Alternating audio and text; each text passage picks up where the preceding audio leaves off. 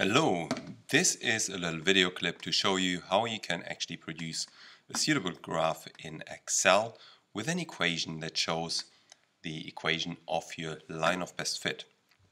So let's say you have some data in your graph.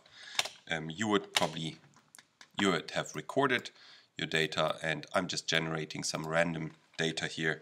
So let's say I have 10, 12 and I'm just extending that list here so that I have enough data to produce a graph. So you go to your charts.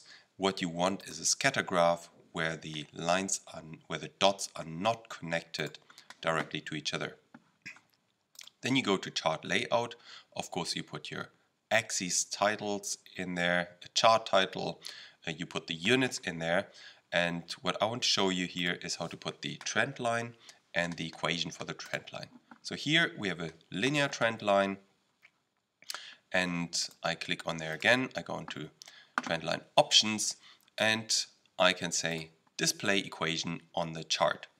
On this occasion I also want a backward extension of the trend line so I'll make this a little bit longer and a slight forward extension of the trend line. And there we go.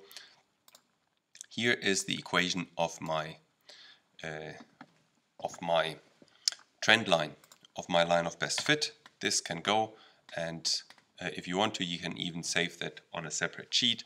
And you can certainly copy and paste this into your Word document or your Pages file. So much for that. Enjoy your investigation.